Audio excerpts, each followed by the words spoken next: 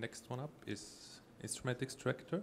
My name is uh, Thomas, and on the computer is Matthias, and we proudly present our instrument extractor. Yeah. so, what is the instrument extractor? Hmm. So, what we uh, were trying to do this uh, weekend is to extract individual instruments from audio files. And you might ask, why would we want to do that? Why? so um, we want to use this um, when we, for example, map the um, the audio files to to scores, to interactive uh, sheet music. Then um, it would be a nice feature if you, as a user, could um, turn on and off individual instruments and um, like hear it from I don't know from a different angle with like leaving out the one or other instrument. So this is what we tried to achieve. And how we did this will tell you Matthias.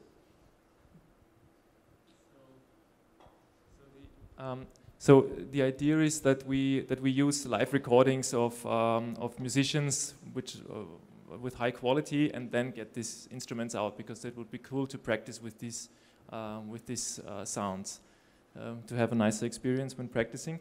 And the idea is to um, use the audio file, use um, uh, the sheet music as an XML, for example, and use um, so-called score following. So uh, some algorithm that follows along. So we have something like that um, uh, developed. Um, of course, never never ready thing, but it's more or less working, and and we could uh, use that to synchronize. Um, uh, here, uh, um, Sonatina from Clementi.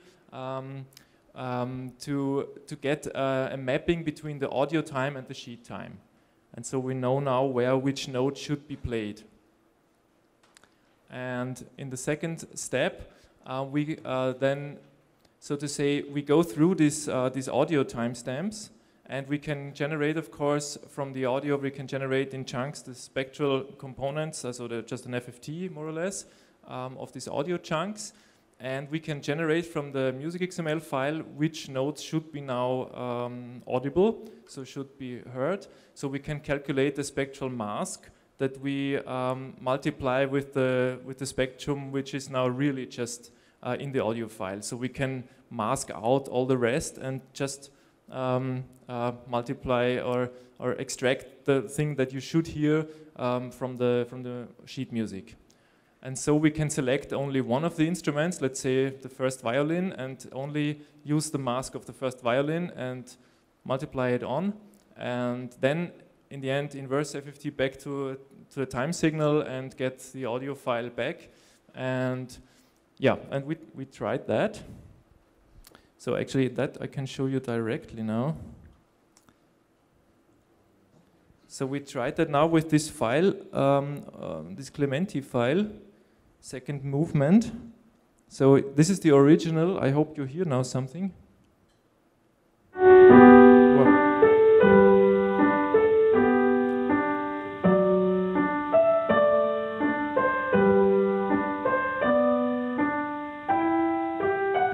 So this is the original one, um, and now, for example, only the uh, the right hand, the the higher voice, with some artifacts, I have to say. So we couldn't get rid of that for the demo now.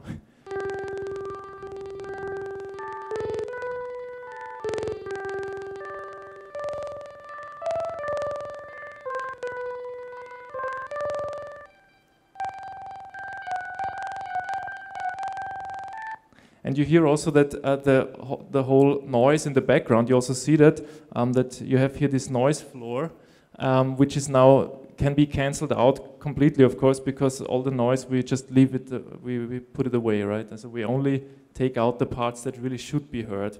I mean, of course, this has to be optimized from, from, the, from the idea. and here is now the, the lower voice.